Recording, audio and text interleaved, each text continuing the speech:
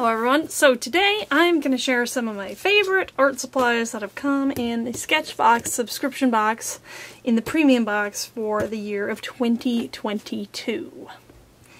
This is just a selection of some of my favorites. I'm going to go with like a top five and then some honorable mention and in this video I am not really going to include the paintbrushes or the substrates. It's just going to be the mediums. So first of all, I'd like to go through a quick review of the supplies from the year of 2022. And I mostly have them sort of cataloged in this sketchbook. So January 2022 was full of these crazy watercolor powders and this is actually December of 2021, so that's not in the perfect order. February, we had a really interesting Pilot Parallel pen, as well as mechanical pencil, etc., etc. I hope this is close enough for you to see. And then in March, it was all about tinted charcoal and some other pastel and charcoal supplies. And you can see my little artwork. Sometimes I include, usually I include it in my um, April, I believe we did not actually get a menu, so I have mostly some of the supplies here. There were watercolor and watercolor markers as well as Pitt Artist marker, but I'm not sure if that was exactly all of them. I'd have to look at my video because the menu was digital. You had to scan it. May, we have the Holbein Artist Gouache as well as multi-liner, a brush, this cool paper, June, some colored pencils. They were Derwent Chromaflow as well as a couple Holbein, some colored pencil blender, a nice brush there. Then July we had some really interesting Kuretake Gansai Tambi graphite pans as well as these items. August was one I didn't do a whole lot on because I was out of town, but we got some uh, art crayons by Marabu, the Sakura Gold Gelly Roll pen, as well as the Finetec Metallic watercolor pen, some ink, watercolor ink there. And then September was, whoa, totally new and wild to me, all about Sanguine. We got some Sanguine powder, sticks, this nice sketching set, as well as some soft knife and covers and then this toned paper. October, like Inktober, of course, we had to get some ink. We got some lovely um, orange and black ink. This totally new to me, cool Inkline painting pen. That was sort of the wow object of that box. And November, Copic. Can't go wrong with Copic. Some Copic sketch markers as well as one Copic Classic. Let's move my grumpy attitude ornament over. Actually, I have it washi on here, so let's flip it down. And then you can see there were some Kuretake manga liners, as well as some more Holbein colored pencils. That's the end of this book, and I started a new sketchbook, which with December. Right here we have December, which we had some Daniel Smith um, dot card, a whole set of fine liners, Holbein acrylic gouache, interesting paintbrush, and watercolor paper. And that is it for the quick little review of the year of supplies. And we'll go in with what was, I think, my favorite. Now, the top five favorite art supplies are not necessarily going to be in order, one to five, but these I really loved, the Holbein gouache, and especially also in these colors. It was really a joy to work with them, and I have still been used, I've continued to use them. Um, I think that is the true test. Here's the page again with all the supplies that came in the May 2022 uh, premium Sketchbox, and you can see just beautiful colors. They mix so well together. They make a lot of cool colors and I just love them. And I haven't done a whole lot with gouache, but I'm excited to continue using them. And I've used them more than a couple times, which is their true test. Another favorite supply out of the five would be the Copic sketch markers. Who doesn't love a Copic marker? I mean, they are the gold standard. They are pricey, but They are the gold standard in alcohol markers. And this was the November 2022 box. And the honorable mention, I suppose, goes to the Copic Classic marker just because I kind of prefer the um, sketch. I'm not even sure why. This one has I don't know, I think I like the feel of the sketch better. I just like the shape better.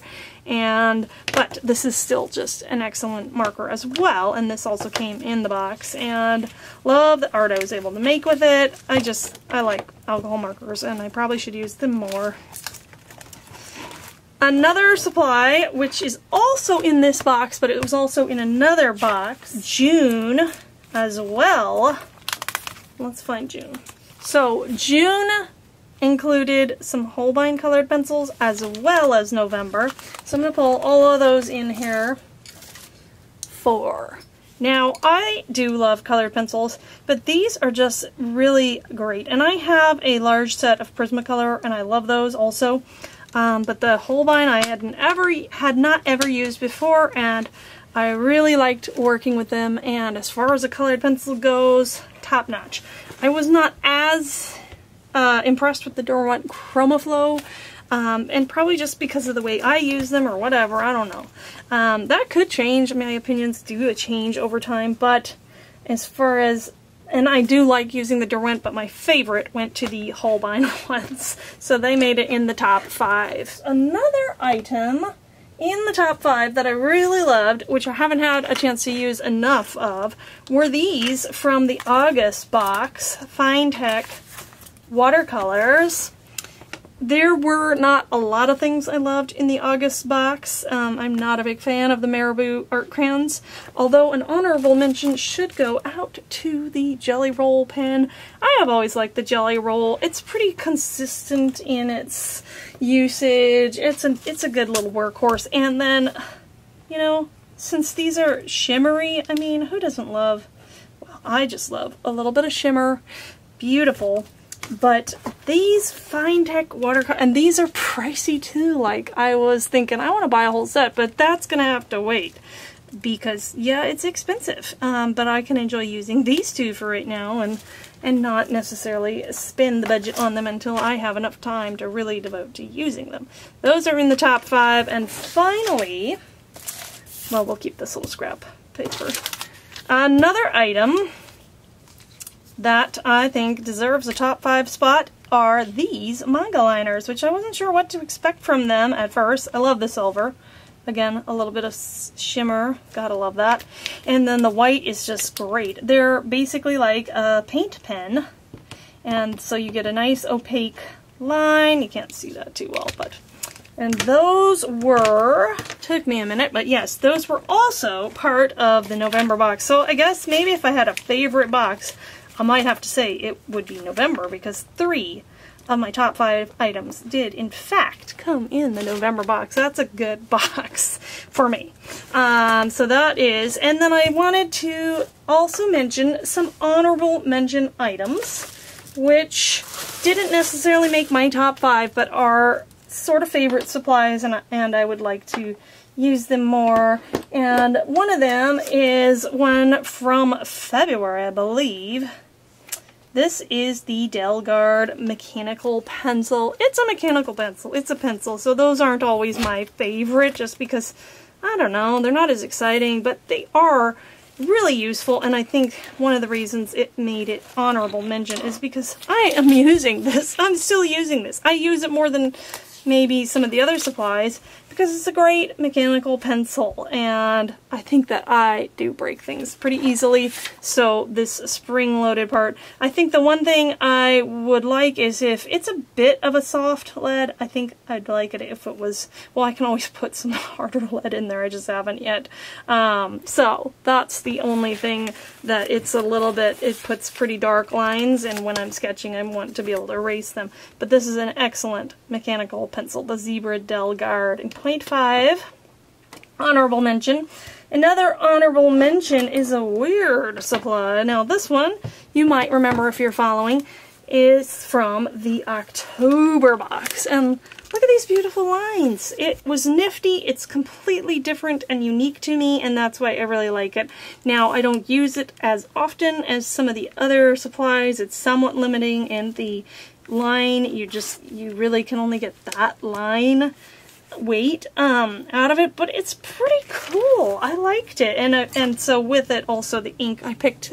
There was orange and black, but black is so you know every you know it's not as unique as orange. So I pulled out the orange one to show you, and this is I have. There's this little um cleaning that super thin. You can watch my uh, video. I'll put a link to the whole playlist in. Um, in an iCard, but yeah, this is to clean the nib out. I haven't really needed to use it. Um, so anyway, but I was afraid I'd lose it because it's small, so I just have it washi to the actual painting pen. This is just a nifty little little uh, tool, and so honorable mention to that item. An honorable mention to the December box with the Daniel Smith dot card. Now, dot card is, this actually, it's gone a long way to trying out the different colors. I mean, it is limited in how much you can do with just a dot, but I love the Daniel Smith watercolors, and I've really enjoyed trying out all the different colors, so honorable mention to that. I think it's an excellent supply, and it's worth having. And finally, I would like to give an honorable mention to the kneaded eraser, the humble kneaded eraser. Now, the reason it's probably not in my top five is because you can kind of, it's not really unique, I guess. And here it was in the Marchbox Extra Large Kneaded Eraser uh, by Faber-Castell. This is only a portion of it, um, and it's in this little container because I get it so dirty. Um, so I just put it in there, but, you know, a kneaded eraser, most artists will say, you know, it's an essential tool. Um, so I love using it. I'm still using it to uh, lighten lines. Just a very useful art supply. And, you know, you can always use one. And I have them in multiple places. In fact, I lose things a lot. So one of them is in some sketching bag and I'm not sure where it is. But this one was right on my desk. So that is an honorable mention to that supply. Now, if you like this content, and if you liked seeing sort of the review of the year, I am looking at all the different brushes. We got 10, I believe 10 brushes um, in 2022, and just a little sneak preview because if a month did not have a brush, it had, well this month also had a brush as well as this painting pen, but that's kind of like a brush. There are some other items that I pulled out to look at and consider. So one of the months it didn't necessarily have a paintbrush, but had this little number. There was this little number, and there was also this little number, which kind of was the replacement. But then look at all these paintbrushes, and I think I have some more. So I'm trying to pick a favorite. It is so hard for me to pick a favorite, but if you're interested in seeing that, make sure you hit the like button and the subscribe button. Let me know in the comments so that I can know whether or not to continue with that process because I am really testing them out and trying to decide which ones are my favorites, but you can get a good idea of what kinds of things come in the box and, you know, an overview of the last year, or maybe you're interested in a certain box. Sometimes they have extras of certain months, so it's a great way to check that out. And just let me know, and as always, I appreciate your comments, I appreciate your support, and I hope you have a wonderful and creative day. Bye!